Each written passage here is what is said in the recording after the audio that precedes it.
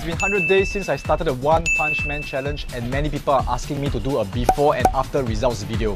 A quick summary if you are new to this, on the 10th of February this year, I found myself to be overweight and decided to do something about it.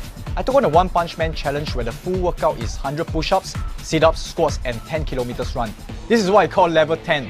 Knowing that I'm not conditioned and may get injured, I started at level 5, 50 push-ups, sit-ups, squats and 5 kilometers run. In the first 30 days, I did that every single day and slowly progressed to level 10.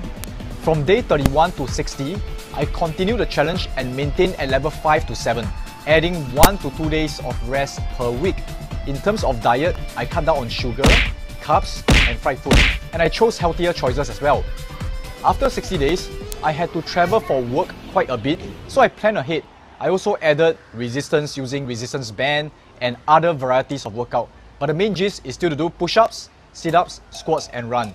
Frankly, I never reached level 10 from day 60 onwards and there were many times I really felt tired and asked myself, why am I doing this? The answer to myself, because this is who I chose to be. I choose to push even when I don't feel like it. I choose to sweat it out to hold myself to a higher standard. I choose to be stronger and fitter. If you want abs, you got to sweat. Let's look at the results at day 100.